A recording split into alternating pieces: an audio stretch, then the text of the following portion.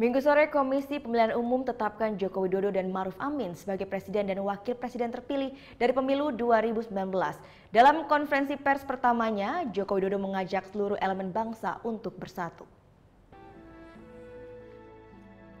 Joko Widodo dan Maruf Amin terpilih dengan perolehan suara 85.607.362 suara atau 55,5 persen dari total suara sah nasional. Penetapan pemenang Pilpres 2019 ini disampaikan Ketua Komisi Pemilihan Umum Republik Indonesia Arief Budiman dengan menyampaikan beberapa landasan hukum.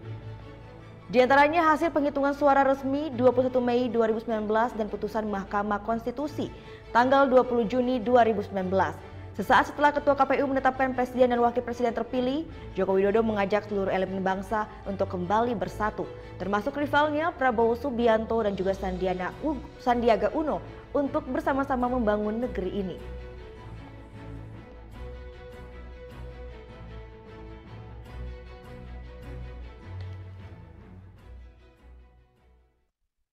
Marilah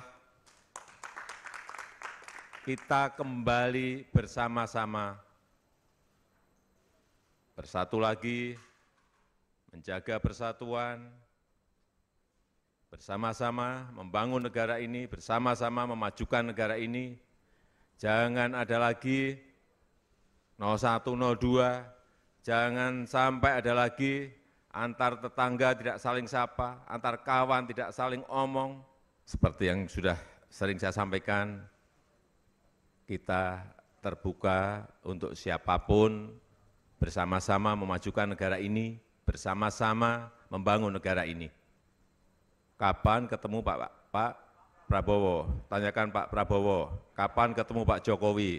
Saya dan Pak Kiai Ma'ruf Amin akan sangat berbahagia apabila Pak Prabowo dan Pak Sandiaga Uno datang dalam pelantikan yang akan datang.